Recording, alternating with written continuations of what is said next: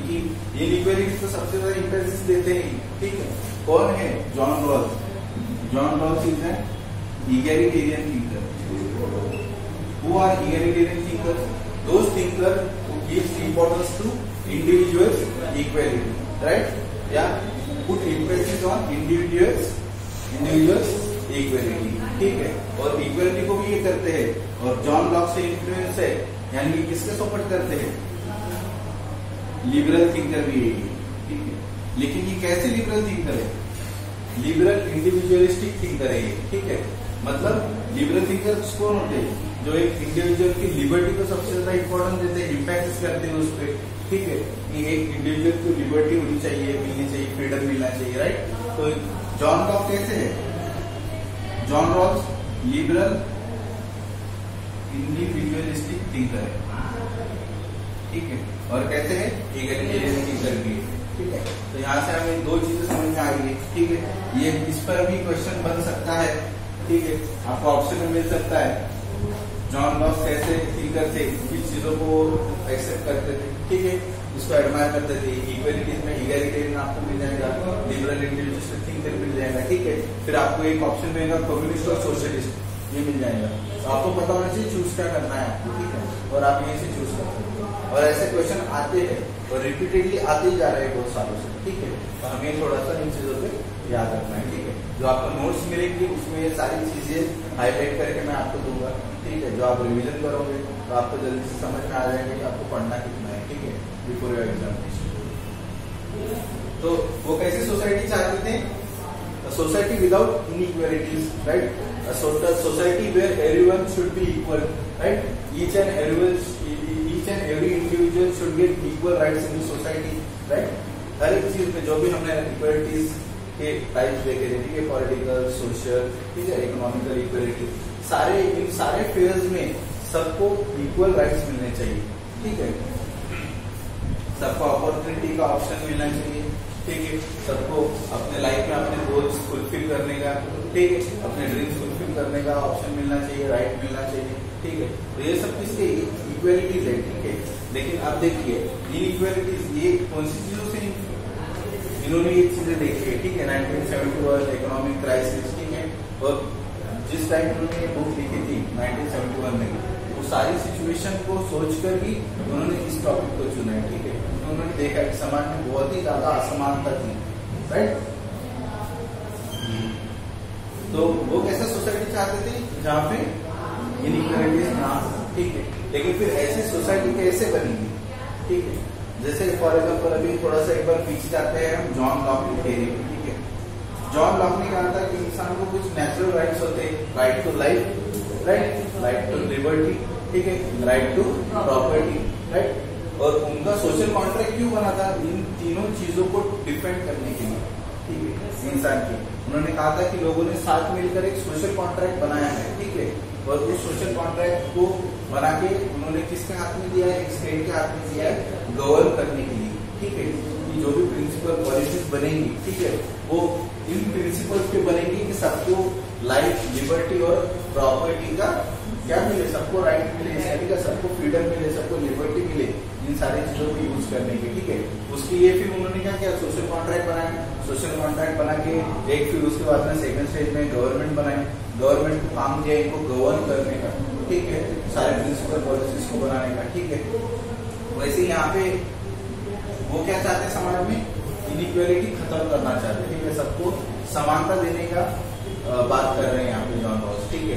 तो ये कैसे चाहेंगे? एक ऐसा समाज बने जहाँ पे कोई इनइक्वालिटीज ना, ठीक है।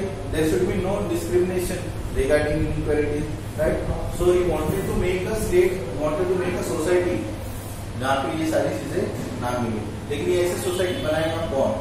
ठीक है। अब, सारी चीज़ का एंड वही होता है। देखिए जॉन लॉस ने भी बताया था कि प्रॉपर्टी राइट को डिफेंड करना है। ठीक है। लेकिन ये करेगा कौन? उसके लिए लोग साथ में आए साथ में मिलकर उन्होंने क्या किया एक सोशल कॉन्ट्रैक्ट साइन किया। ठीक है। उसके बाद में स्टेट को उन्होंने ये दिया। ठीक है प्रिंसिपल्स यूज़ करने के लिए। तो वैसे ही जॉन लॉस ने क्या किया है? उन्होंने ओरिजिनल पोजिशन की बात की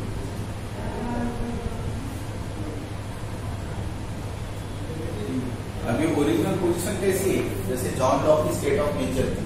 ठीक है? जहाँ पे किसी को कुछ पता नहीं था क्या करना है, क्या नहीं करना है। ठीक है? हमने डिस्कस किया था स्टेट ऑफ़ नेचर ठीक है? जॉन लॉ का पॉलिटिकल थॉट्स में। अब ओरिजिनल पोजीशन इनकी भी है। उसी को वो क्या कहते हैं? Well of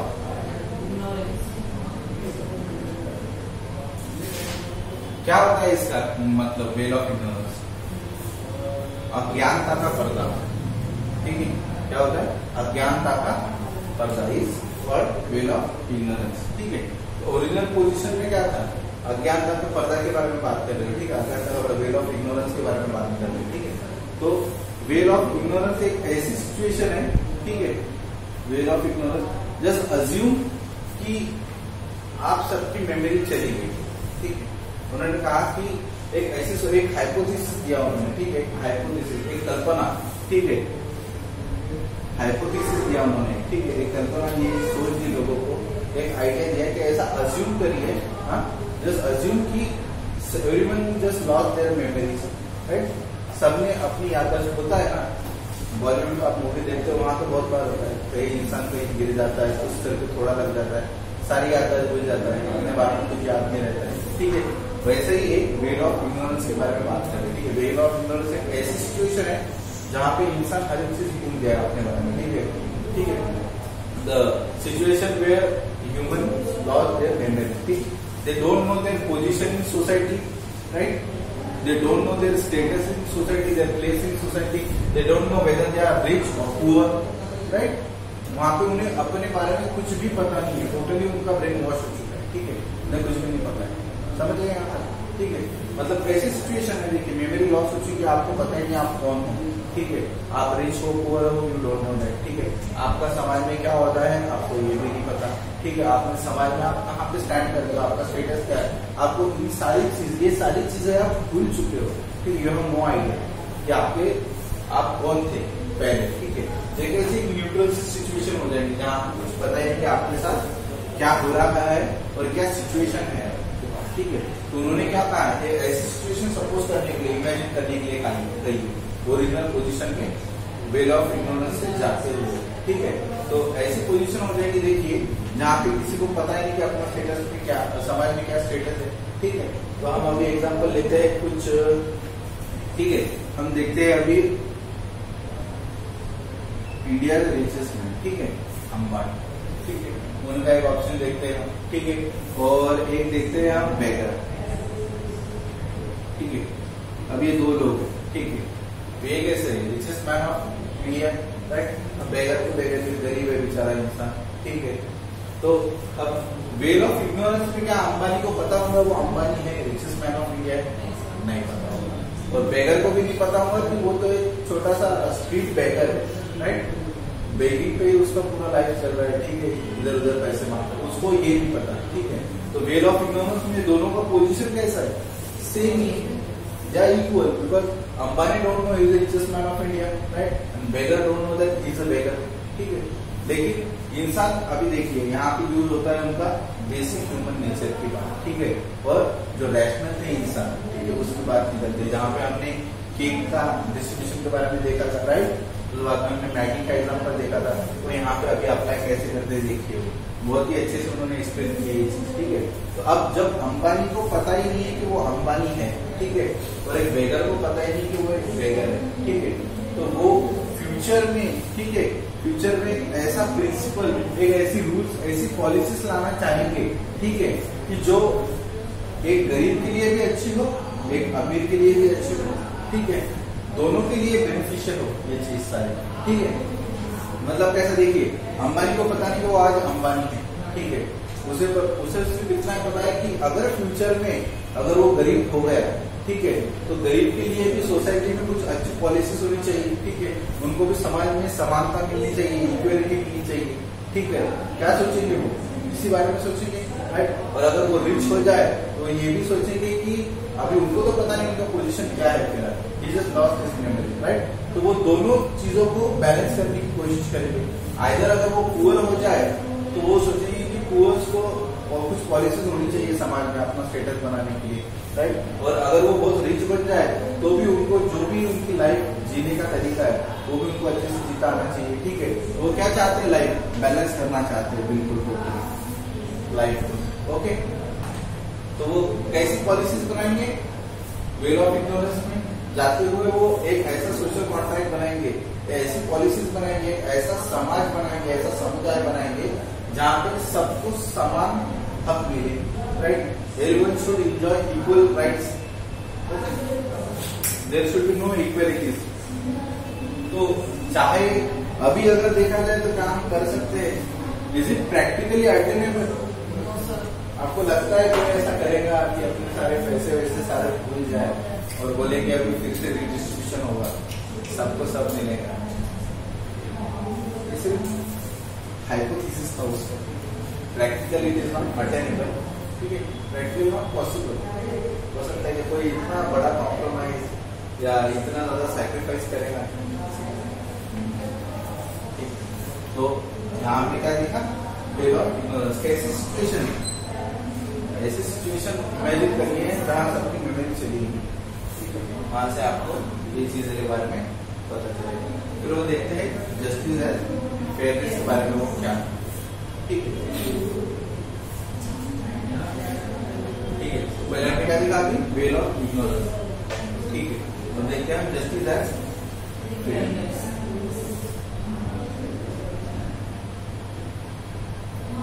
According to Rawls' theory of justice, justice as fairness commands equal basic rights, equality of opportunity, ठीक है and equal liberty to all ठीक है क्या क्या पर बात की उन्होंने? जस्टिस एज फेयरनेस उनका क्या बोलने का मतलब? कि justice as fairness commands equal basic rights ठीक है सबको इक्वली जो भी बेसिक राइट्स है मिलने चाहिए everyone should get equal opportunity their life okay सबको समान अधिकार मिलना चाहिए अपॉर्चुनिटीज़ का। ठीक है? अभी हमारे कॉन्स्टिट्यूशन में पार्ट थ्री फंडामेंटल राइट्स में कहाँ पे दिया है? कौन से आर्टिकल में दिया है? बताइए। इक्वलिटी ऑफ़ अपॉर्चुनिटी ठीक है? आर्टिकल सिक्सटीन ऐसे लिंकअप करिए। लिंकअप करो, जब आप करोगे, ठीक है? तो आपको याद होनी चाहिए टर्म्स ठीक है? कि कॉन्स्टिट्यूशन में यहाँ पे ठीक है हमें यहाँ पे भी मिला है ठीक है। हम यहाँ से रेफरेंस दे सकते हैं आर्टिकल सिक्सटीन क्या बात करता है। अपॉर्चुनिटीज़ की बात करता है। फोर्टीन क्या है फिफ्टीन क्या है ठीक है। फिफ्टीन क्या है डिस्क्रिमिनेशन के बारे में बात करता है। सेवनटीन किसके बारे में बात करता है ठीक है। उसके बाद एटीन है आपका ऑबोल्यूशन के बारे में बात करता है article eighteen abolition of title special titles के बारे में ठीक तो जस्टिस फेयरनेस में आपने क्या देखी? जॉन रॉल्स ने जो ये जो बुक लिखा था ठीक है थियरी ऑफ़ जस्टिस ठीक है। तो उसमें उनका पहला ही स्टेटमेंट ये था कि justice is the first virtue of every civilise society ठीक है? ठीक है? First virtue justice is the first virtue for every civil society ठीक है? And justice is very important for constitutional ठीक है डेमोक्रेसी ठीक है जस्टिस न्याय का सिद्धांत सबसे ज़्यादा इंपॉर्टेंट है, ठीक है? थियरी ऑफ़ जस्टिस में, और ये जो जस्टिस है, ठीक है तो सारी सोसाइटी का एक बेस होना चाहिए, ठीक है? सारी जो सोसाइटी है, उनकी स्थापना जो भी है, वो जिसपे भी स्टैब्लिश होंगी, उसका बेस उसका प्रिंसिपल क्या होना चाहिए? न्याय. ठीक है जस्टिस होना चाहिए. और जस्टिस क्या कमांड करता है? जस्टिस की डिमांड क्या होती है? ठीक है justice command equal basic rights equality of opportunity and equal liberty to all ठीक है? लेकिन कैसे? Without any discrimination without any inequality right and justice should be कैसा होना चाहिए जस्टिस शुड बी फेयर ठीक है? And it it provides opportunity to whom it should provide opportunities to the least advantage people of the society society के what तो सारे citizens को देनी चाहिए ना राइट लेकिन उसके बाद में हम जब उनके प्रिंसिपल देखेंगे डिफरेंस प्रिंसिपल में तब आपका ये डाउट क्लियर हो जाएगा। ठीक है उनका कहना था कि chain is as strong as its weakest link ठीक है मतलब क्या होता है? ठीक है या आपकी चेन ठीक है। तो चेन स्ट्रॉन्ग है ये आप कहाँ से कह सकते हैं? अगर उसकी जो वीकेस्ट लिंक है, अगर वो स्ट्रॉन्ग हो पूरी चेन स्ट्रॉन्ग ठीक है? तो अब देखिए, जो आपने पूछा था उसका आंसर तो लीस्ट एडवांटेज सोसाइटी के लिए, ठीक है? अगर कुछ कर सकते हो, उनको उनको भी समाज में आपको समाधान देना ज़रूरी है, ठीक है? उनके लिए भी अपॉर्चुनिटीज़ का ऑप्शन ओपन करने चाहिए, ठीक है? उनके डेवलपमेंट के बारे में सोचना।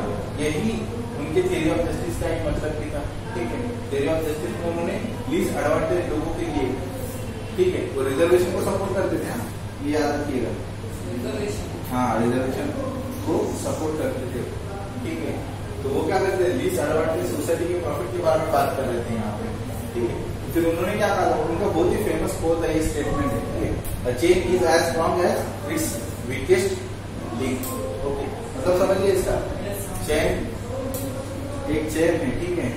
चेन पता है कोई भी इमेजिन करिए उसका जो वीकेस्ट लिंक होता है वो जितना स्ट्रांग रहेगा उतनी ही वो चैन मज़बूत होगी ठीक है? और सोसाइटी के फॉर एग्ज़ाम्पल चैन के जगह पे सोसाइटी ले लीजिए।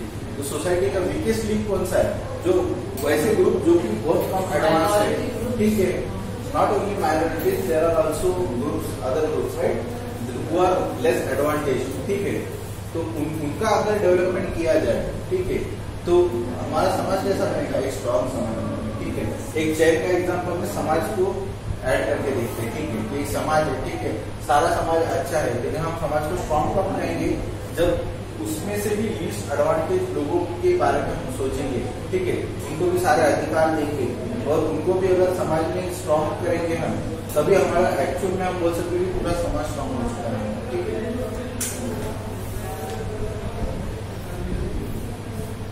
Justice acts, fairness commands, equal basic rights, equality of opportunity, ठीक है, and equal liberty to all, ठीक है, and fair and equal treatment to the least advantage group of the society ये याद रखना ज़रूरी रिजर्वेशन को सपोर्ट करते थे क्वेश्चन आ सकता है। इनडायरेक्टली भी ऐसा क्वेश्चन आ सकता है ठीक है? अगर देखा जाए मिनिमम टू क्वेश्चन तो जॉन बॉक्स पे आते ही है ठीक है? अगर आप पुराने पेपर एनालाइज करोगे तो आपको मिल जाएँगे ठीक है? लास्ट स्टेज जो आपका हुआ था। ठीक है अटेंड किया है आपने पूरा पेपर ठीक है उसमें मैंने थ्री फोर क्वेश्चन ऐड किए जॉन बॉक्स में क्योंकि उनका इम्पोर्टेंस है। अगर आप एक यूनिवर्सिटी में इंटरव्यू के लिए भी जाते हो फॉर असिस्टेंट प्रोफेसर ये क्वेश्चन बहुत ही ज़्यादा कॉमन है। थियरी ऑफ़ जस्टिस के बारे में बताइए what is fairness who are the criticisers of John Ross John Ross किसको क्रिटिसाइज करते थे? सारे क्वेश्चन आते हैं ठीक है? तो हम एंड में देखेंगे क्रिटिक्स ठीक है?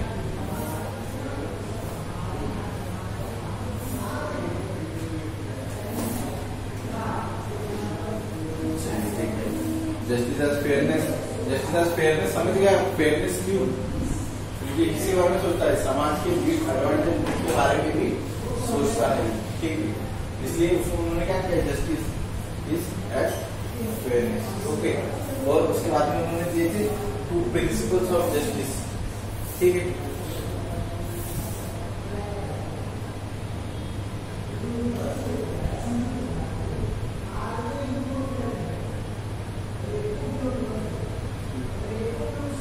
कुछ टू प्रिंसिपल्स को एक्चुअली थ्री प्रिंसिपल्स दिया है। लेकिन वो थ्री प्रिंसिपल्स है वो टू ही प्रिंसिपल है ठीक है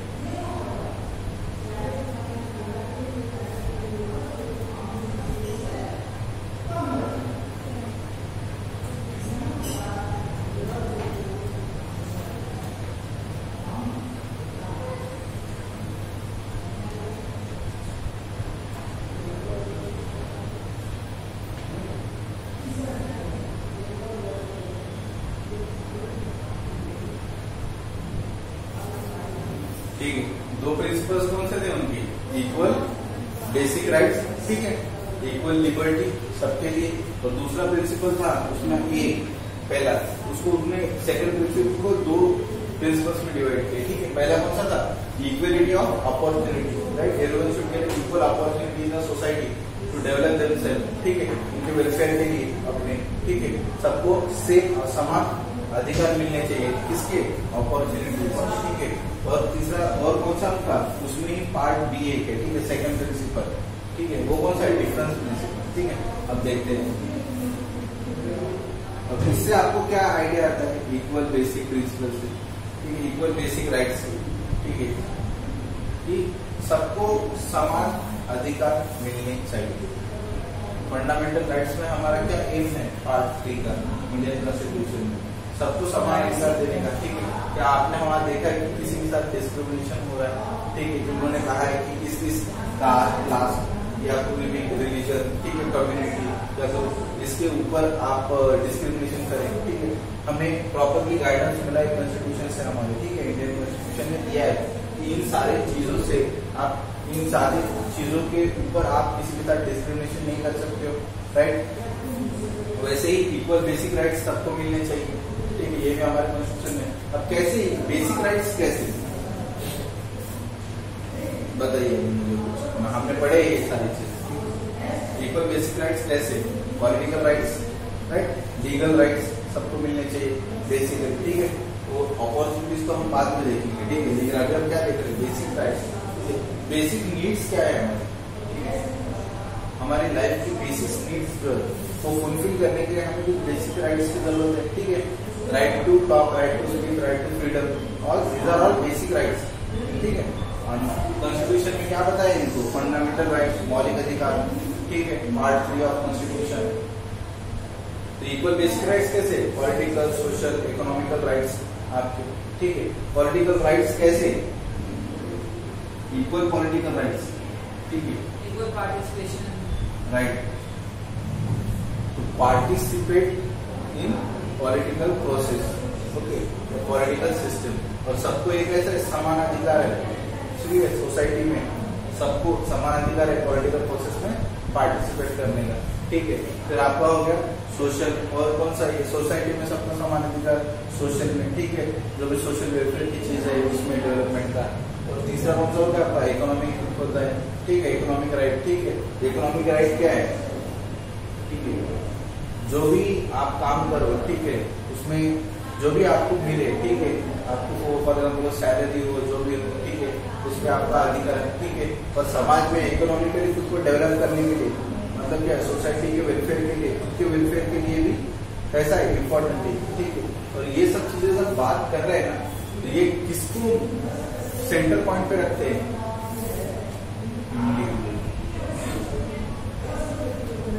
हम लॉस किसको इम्पोर्टेंस देते हैं इंडिविजुअल ठीक है हमने देखे वो इगेलिटेरियन थिंक